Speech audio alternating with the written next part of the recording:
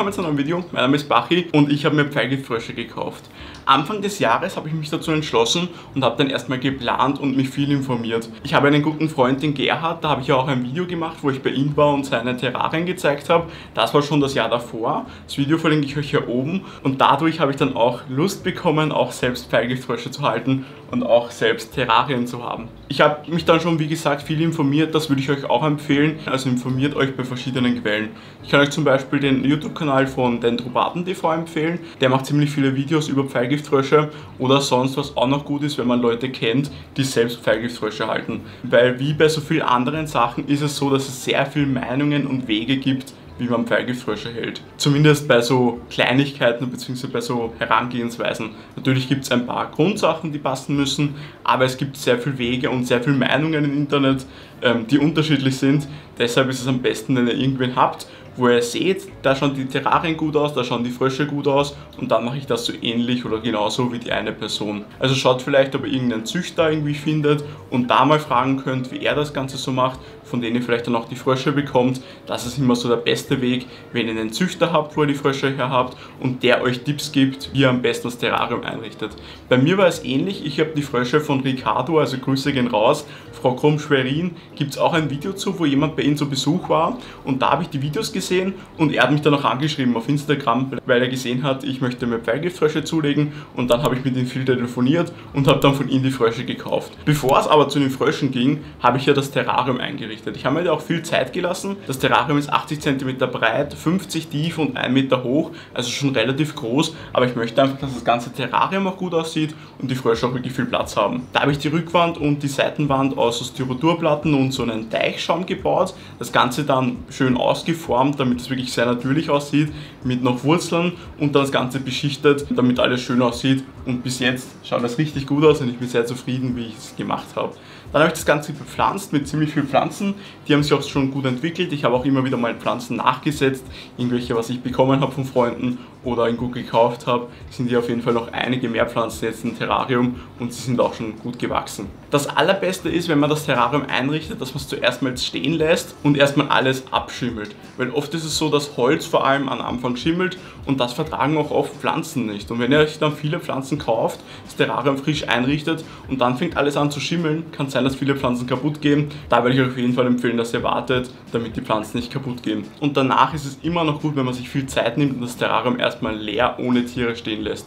Dann kann sich erstmal alles entwickeln, die Pflanzen können sich gut einwachsen, man kann auch Pflanzen austauschen, falls noch etwas schimmelt, ist es auch nicht so schlimm. Und wenn dann alles eingewachsen ist, vielleicht so nach einem Monat, vielleicht sogar nach zwei Monaten, dann ist es Zeit, die Tiere einzusetzen. Kommen wir aber jetzt zu den Fröschen. Ich habe noch gar nicht erwähnt, was für Frösche es geworden sind und warum. Also ich habe mich für die Tinctorius azureus entschieden.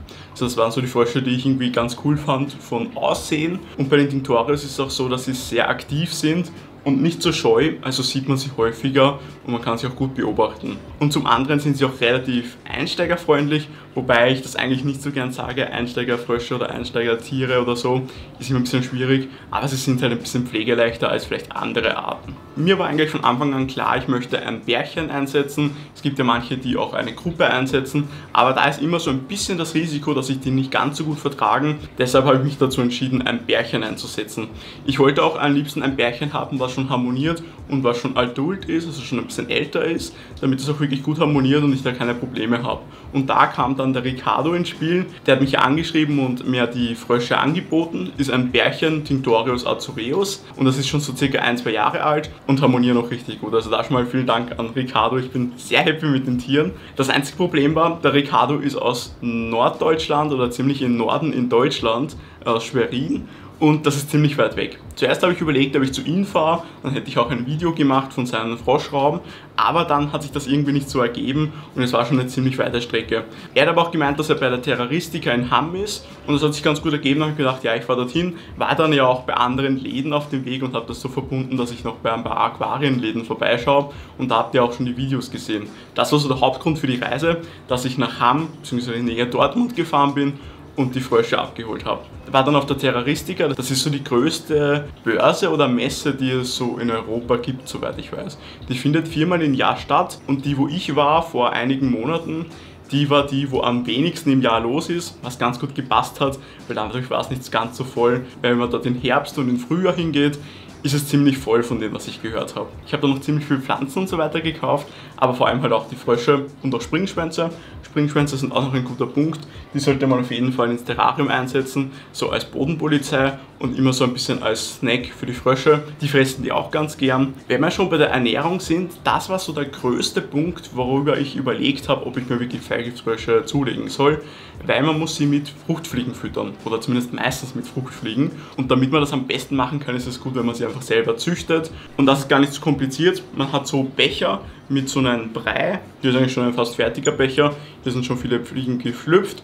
Und das Gute ist, die Fliegen können nicht fliegen. Also es ist eine Züchtung von Fliegen, die nicht fliegen können.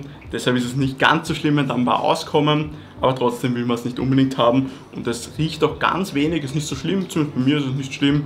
Ähm, aber es ist ein Punkt, wo man denken sollte, dass es ein bisschen Aufwand ist, immer wieder Fruchtfliegen für die Frösche zu züchten. Ich fütter aktuell so fünfmal die Woche mit Fruchtfliegen und da komme ich ganz gut zurecht aktuell. Das Ganze hat mir der Gerhard gezeigt, da habe ich auch ein Video gemacht, das verlinke ich euch hier oben, wie man die, die Fliegen ansetzt. Ich habe hier so einen Becher, hier einen Lock geschnitten, hier ein Küchenpapier, damit die Fliegen nicht rauskommen und damit keine Fruchtfliegen, die fliegen können, hier rein können, weil sonst kann es sein, dass die dann doch fliegen können.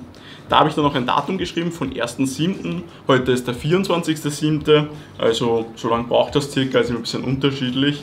Ähm, und hier sieht man auch die ganzen Maden, also schlüpfen da noch öfters Fliegen. Das Ganze mache ich dann so, dass ich mir ein paar Fliegen rausholen. Ich habe hier so einen Becher mit so einem kleines Gitter und hier gebe ich die Fliegen rein. Dann kommt ein bisschen ähm, Vitaminpulver dazu.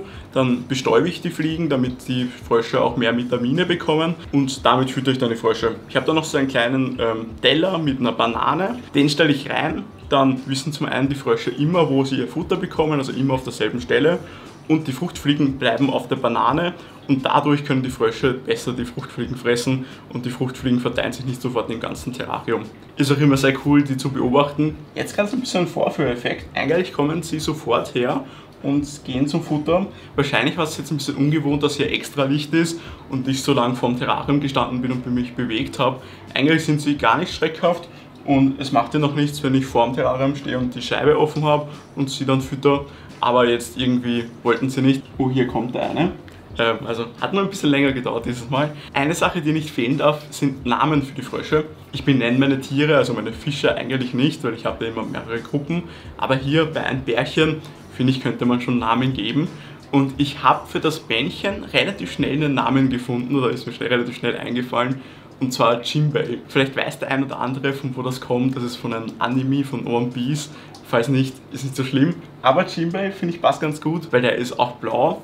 Aber für das Weibchen weiß ich noch nicht ganz genau, wie ich das nennen soll. Also schreibt gern Vorschläge in die Kommentare. Vielleicht auch aus One Piece, falls ihr es nicht kennt. Vielleicht auch einen anderen Namen, der gut zu Jimbei passt. Bin gespannt, ob ihr da irgendwelche coolen Vorschläge habt. Mir ist jetzt auf die Schnelle nichts eingefallen. Als ich sie geholt habe, haben sie sich leider ein bisschen an der Nase verletzt, also ein bisschen aufgerieben oben an der Nase. Ähm, war aber zum Glück nicht so schlimm, das ist relativ gut verheilt. Ich habe doch nichts gemacht. Ich habe dann auch gleich mit dem Ricardo telefoniert und mit dem Gerhard und sie haben gemeint, solange es sich nicht entzündet und mehr wird, ist es nicht so schlimm. Falls es sich entzünden sollte oder ein bisschen mehr werden sollte, dann sollte ich es ein bisschen mit Augentropfen oder Augensalbe behandeln. Musste ich aber zum Glück nicht machen und mittlerweile ist es schon sehr gut abgeheilt. Bei den einen sieht man es fast gar nicht mehr, bei den anderen noch ein bisschen mehr. Aber ja, ist leider so. War halt ein relativ langer Transport von zwei, drei Tagen in der Box.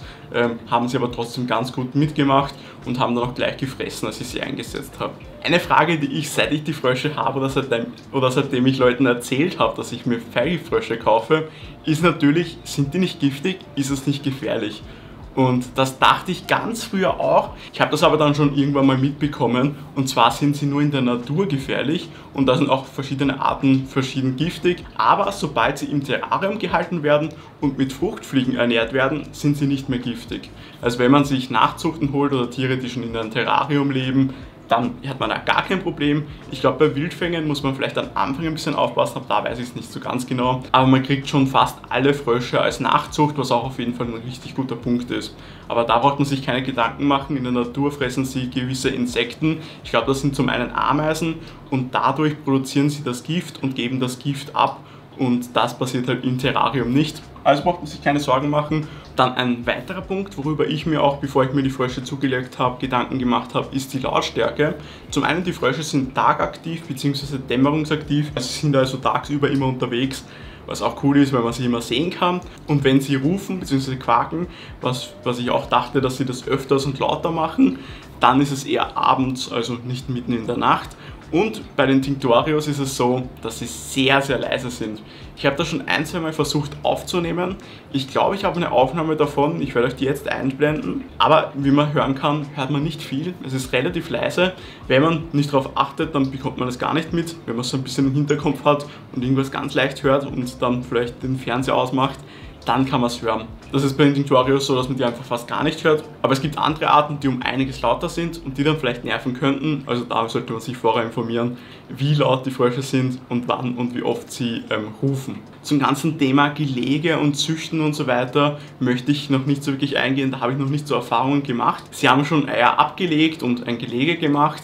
Äh, aber da will ich euch erstmal noch nicht so viel sagen, weil ich habe da noch keine Ahnung von und vielleicht irgendwann mal, wenn ich da ein bisschen Erfahrung gemacht habe, kann ich euch da auch einmal ein Video zu machen. Übrigens, wenn ihr das T-Shirt, was ich anhabe, cool findet, dann schaut gerne mal in die Beschreibung. Ist das neue T-Shirt von Liquid Nature, also eines von den drei von der neuen Premium-Kollektion.